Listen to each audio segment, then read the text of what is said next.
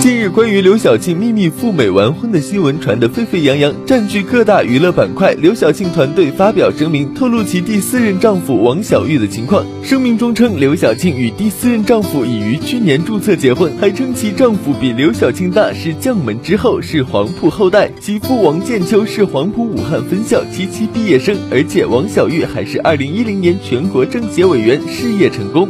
此外，据刘晓庆身边工作人员透露，刘晓庆将于美国时间八月二十号在美国举行婚礼，五十八岁再迎人生第四春。刘晓庆心情如少女般激动，连续在微博中大晒婚礼前靓照，并感叹称：“世界纷扰，岁月静好。”照片中已经五十八岁的刘晓庆看上去仍然美艳，头戴着鸭舌帽，扎着小辫，身穿条纹 T 恤配黑色短袖外套，坐在沙发上静静的看报纸，看上去非常的享受这份惬意时光。看到粉丝反应强烈，随后刘晓庆再次晒婚前靓照，并在微博中谦虚的写道：“亲友说这张照片是花样年华，我说是花裙子而已呀。”照片中的花裙子惹眼，而坐在沙发上的刘晓庆更惹眼，一头齐耳短发，神采飞扬，皮肤好的像十八岁少女。刘晓庆的美艳照让网友直呼是不老神话，更有网友留言调侃称：“难道这是传说中的防腐剂代言人？”